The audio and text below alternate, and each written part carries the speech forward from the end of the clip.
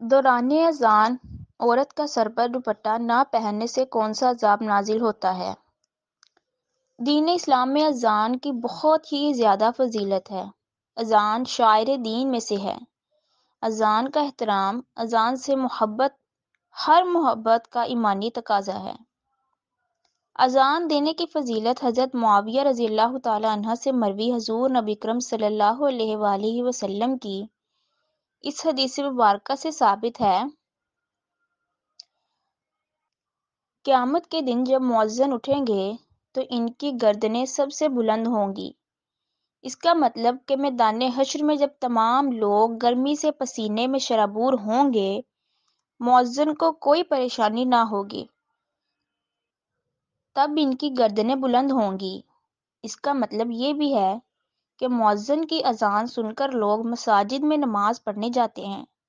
तो नमाजी ताबे और मुअज्जिन मतबू हुआ और मतबू चूँकि सरदार होता है, इसलिए क़यामत के दिन इसकी गर्दन बुलंद होगी, ताकि इसका सर नुमाया नज़र आए। जहाँ अजान देने की इतनी फजीलत है, वहीं अजान का एहतराम ना करने की सख्त तरीन, वईद और सख्त सज़ाएँ भी हैं। इनमें से कुछ सज़ाएँ तो इस दुनिया में है। आज अजान का एहतराम करने पर इसका अजर सवाब और इसको ना सुनने पर इसका अजाब क्या है? हज़रत सैदिना अली का इस बारे में क्या फरमान है? एक शख्स इनके पास आकर परेशानियों का ज़िक्र करने लगा तो सैदिना अली रज़ी अल्लाह तह ने क्या फरमाया? और इसी तरह अगर कोई औरत बेपर्दा होकर अजान सुने तो इस घर पर क्या अजाब नाजिल होता है? इस मौजू पर गुफ्तु पेश की जा रही है। अजान की अहमियत और इसकी फजीलत और सुनने के फ़जाइल बरक़ात क्या हैं? हज़रत अकबा बिन आमिर रज़ी अल्लाह से रवायत है कि हादी आलम सल्लल्लाहु ने इरशाद फरमाया, तुम्हारा रब राज़ी होता है। पहाड़ की चोटी पर बकरियाँ चुराने वाले से जो नमाज़ के लिए अजान देता है और नमाज़ पढ़ता है। अल्लाह वजल मलाइका मुकर्रबीन से फरमाते हैं, मेरे उस बंदे की तरफ़ देखो कि ये पाबंदी से अजान देता है और पाबंदी के साथ नमाज़ पढ़ता है और मुझसे डरता है। बस मैंने अपने इस बंदे के गुनाह बख्श दिए हैं और मैं इसको जन्नत में दाखिल करूँगा। ये अजर सवाब तो इस शख्स के लिए है जो अजान देता है। और इस शख्स के लिए भी बहुत ही ज़्यादा अजर सवाब रखा है, जो जैसे ही अजान की आवाज़ पाए, अपने सब काम काज को सिर्फ़ अजान के एहतराम में छोड़ देता है और अजान सुनकर अजान के अल्फाज दोहराता है।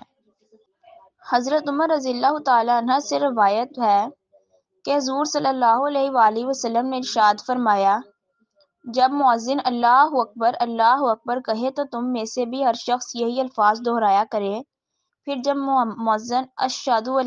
इलाहा इल्लल्लाह कहे तो तुम में से भी हर शख्स इन्हीं अल्फाज को दोहराए। फिर जब अन्ना मुहम्मद रसूलुल्लाह कहे तो तुम में से भी हर शख्स यही अल्फाज दोहराए। फिर जब मुअज्जिन, हय्या सला कहे तो तुम में से हर शख्स ला वला कुव्वता इल्ला बिल्लाह कहकर इसका जवाब दे। फिर जब मुअज्जिन हय्या अल फलाह कहे तो तुम्हें से हर शख्स ला हौला वला कुव्वता इल्ला बिल्लाह से इसका जवाब दे। फिर जब मुअज्जिन अल्लाह अकबर अल्लाह अकबर कहे तो तुम में से हर शख्स यही अल्फाज दोहरा कर इसका जवाब दे। फिर जब मुअज्जिन ला इलाहा इल्लल्लाह कहे तो तुम में हर शख्स इन्हीं अल्फाज से इसकी तायद करे। बस जिसने अजान के कलमात के जवाब में ये कलमात सिद्के दिल से कहे तो वो जन्नत में दाखिल होगा। जहाँ अजान सुनकर इसका जवाब देने की इतनी फजीलत है, वहीं अजान का एहतराम ना करने पर भी सख्त तरीन वाइदे भी हैं। जो शख्स अजान की आवाज़ सुनकर अपने काम काज में मसरूफ़ रहता है, अजान को नज़रअंदाज कर देता है, अपने काम काज नहीं छोड़ता, इस शख्स के कारोबार में बरकत अल्लाह पाक उठा लेते हैं। हज़रत अली रज़ी अल्लाह के पास एक ताजर आकर अपनी बेबरकती का ज़िक्र करने लगा। तो आपने फरमाया, तुम अजान के वक्त अपने काम काज को ख़त्म करके एहतराम अजान में बंद कर देते हो या खामोश हो जाते हो? तो वो कहने लगा, नहीं। आपने फरमाया, अजान का एहतराम करो, फिर देखना कारोबार में कैसी बरकत होना शुरू हो जाएगी। इसी तरह हमारी जो बहनें अजान की आवाज़ सुनकर अपने सर पर दुपट्टा नहीं ओढ़ती, इन पर अल्लाह की लानत बरसती है। फिर जिस पर अल्लाह की लानत बरसे भला इस घर में रहमत आ सकती है? कैसे वह घर खुशहाल हो सकता है? कैसे इसके घर में सुकून आ सकता है?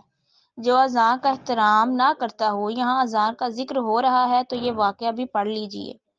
सिंध के एक गाँव से तबलीगी जमात का गुजर हुआ तो पता चला कि यहाँ के लोग बेदीन हैं। इन्हें कलमा तक नहीं आता। हलाल हराम की तमीज़ नहीं। खुदा रसूल का नाम नहीं सुना। इन अल्लाह के बंदों ने इन्हें दीन की दावत देने का सोचा और वहाँ पहुँच गए। गाँव वालों ने इस शर्त पर बात सुनने की हामी भरी कि हमारे यहाँ एक खातून का इंतकाल हो गया है, लिहाजा इसे सपुर्द खाक करें। जमात वालों ने कफन दफन का ज़रूरी इंतज़ाम किया, जनाजा पड़ा एक जगह को कब्रिस्तान का नाम देकर खातून की तदफीन कर दी गई। दुरान तदफीन जमात के एक साथी की ज़रूरी कागजात कब्र में गिर गए। कागजात अहम थे, इसलिए कब्र कुशाई का फैसला हुआ। इस सूरत हाल में मैयत के घर वालों से इजाज़त ली गई। इनकी इजाज़त से कब्र को खोला गया तो देखते हैं कि कब्र रोशन और नूर से पुर है। हर तरफ़ फूल बिखरे पड़े हैं। मैयत का पौधा जिस्म गुलाबी की पत्तियों से ढका हुआ है। एक सुर्ख गुलाब मैयत के होंठों पर रखा है, जिससे कतरा कतरा पानी मैयत के हलक में जा रहा है। कब्र खुलते ही हर तरफ़ खुशबू फैलने लगी। लिहाजा जल्दी कब्र को बंद कर दिया गया। क्योंकि ऐसे मामलात अल्लाह और बंदे के दरमियान राज होते हैं, मैयत के घर वालों को इस अजीम नेमत की खुशखबरी सुनाई गई। साथ ही इसकी वजह भी पूछी गई। खातून के अहले खाना का कहना था कि हमने कभी इस, इसे कोई नेक अमल करते नहीं देखा। हाँ एक चीज़ जो वो अक्सर किया करती थी और जिसे हमने इसे सारी ज़िंदगी इस अमल को करते देखा।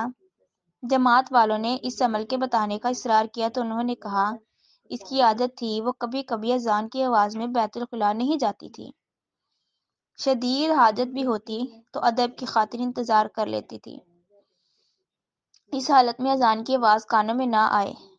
आज हमारे मुस्लिम माशरे की हालत यह है कि घरों में बड़ों से छोटों तक कोई का दुखा हो जो अजान के लफ्ज़ों का अदब करता है। और इसे मालूम हो कि अजान में मौजन रसूल सल्लल्लाहु वसल्लम ने क्या कहा है। अगर आपको हमारी वीडियोस अच्छी लगी हैं तो प्लीज़ शेयर करें और हमारा चैनल सब्सक्राइब करके बेल आइकन को प्रेस करें।